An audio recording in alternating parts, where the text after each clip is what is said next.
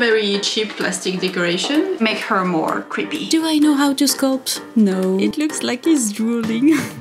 Bonjour! Halloween is getting very close and I still haven't actually made any decorations. Everything I have is just right there. Hello. Maybe I should put some costume pieces as decoration. But for now I haven't actually crafted anything. Let's remedy that. Do you like my outfit? I have the whole process in a previous video if you want to see. So today we can customize some cheap Halloween decorations and make them a little bit more creepy and more unique. Budgets are tight and my schedule also. So how about we do a project that can be done cheaply and quickly? Let's go.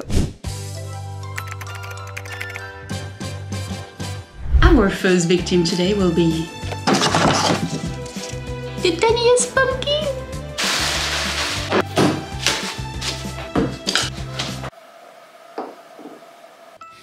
Removing the stem and I just want to give him a little bit of a carving like you would do on a regular size pumpkin. It is so small, I just want to make it very cute and almost kawaii with big eyes and a small mouth.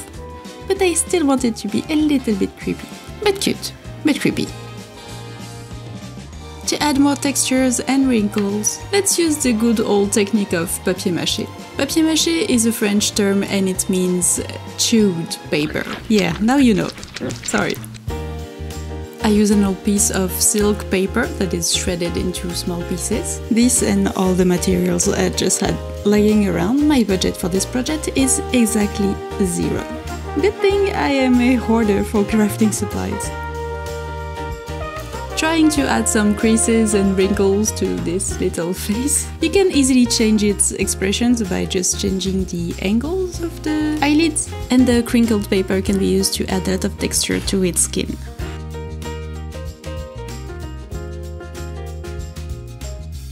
The little stem can be glued back on and extended with a few pieces of papier-mâché. You can go even further with all the textures and the wrinkles, but I just added a little mole on his cheek and I think we are good for this one. Next victim. No, please, no. So this is a very cheap plastic decoration. It even lights up a little.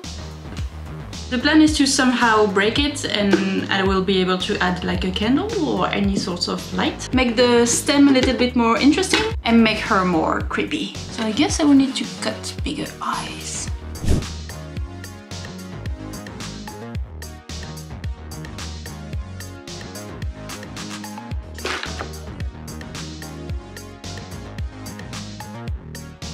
Before I can glue anything on this, we need some sanding. Ugh.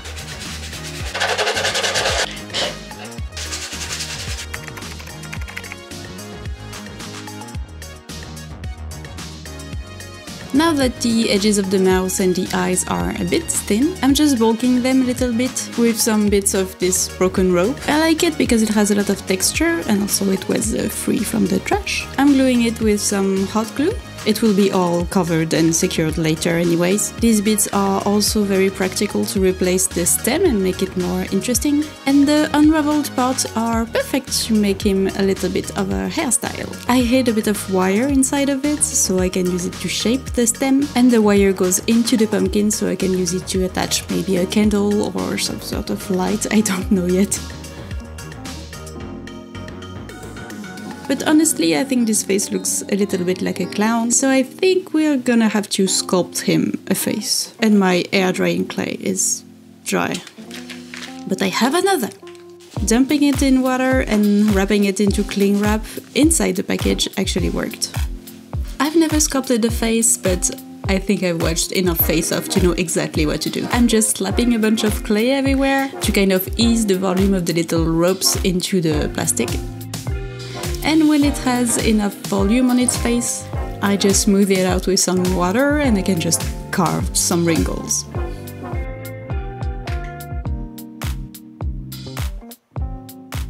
Do I know how to sculpt? No. Did I look at a reference picture of something with wrinkles? No. Will it be perfect? No. But it is very fun and I think I'm getting into sculpting. Maybe I should try sculpting something from scratch and see if I actually like it. Because clay is very pleasant to use. The back of its head is a bit too smooth for its wrinkled face. Let's remedy that with some wrinkled paper. And I think we are good on the sculpting of the second pumpkin.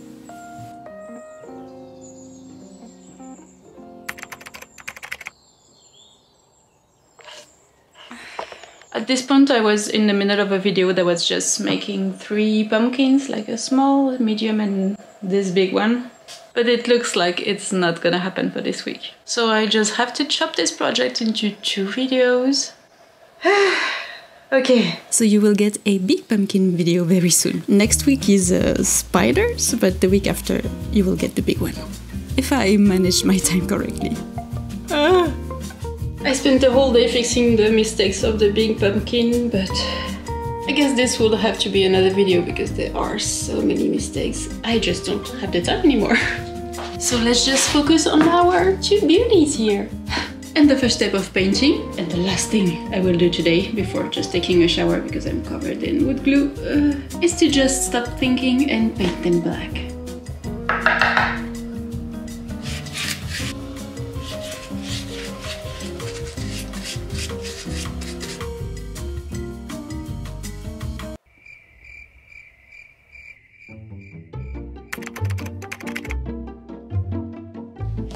The orange I need is just white, red and ye yellow.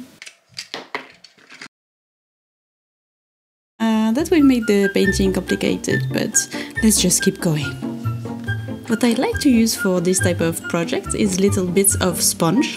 You don't have to buy the expensive sponge brushes, just cut little pieces and round the corners with the scissors. Then I like to build the colors in layers onto the black. It usually gives me the maximum amount of contrast because this thing will be seen at night mostly. But you can build up the color onto any base. I think it gives a lot of control to adjust the amount of color that you want.